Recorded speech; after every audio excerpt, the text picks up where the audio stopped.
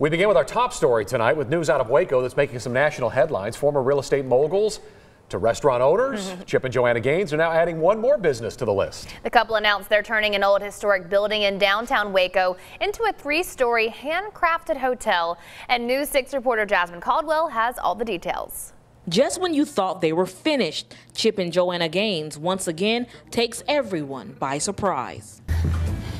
Y'all, we're going to have a hotel in downtown Waco, Texas. The historic Grand Karem Shrine at 7th and Washington was built in 1928. Chip and Jo say they partnered with AJ Capital Partners on the project and expressed their joy about the 53,000 square feet building on their YouTube page this morning. but we cannot wait to restore it back to its former glory. There's so many details about this building that are just gorgeous. Today, tourists at the silos were excited too. and for all the experience that I've been seeing, I think it's wonderful. They're doing a great job for the community, and it's perfect. They really do need another hotel here because they're all booked. So According to the Waco Convention and Visitor Center, that statement is true. Currently, Waco has 652 hotel rooms under construction.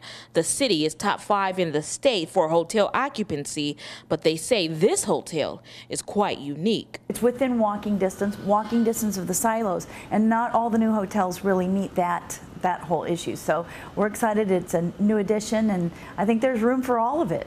The hotel doesn't have a name at this moment and will feature a rooftop terrace, a grand ballroom, and a ground floor restaurant.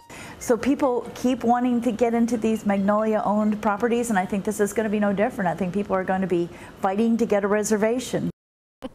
I bet they will. If you can't get enough of Chip and Jo, their brand new coffee shop is set to open at the end of the month. And the spokesperson at the Visitor Center also told Jasmine that she's already been receiving calls from businesses wanting to book the hotel for conferences they have in Waco in the next few years, and construction's not even begun on Yeah. it yet. Fun stuff. Yeah, I think it'll be big- just- big I- business. yeah, Yeah. I would stay there for sure. Okay.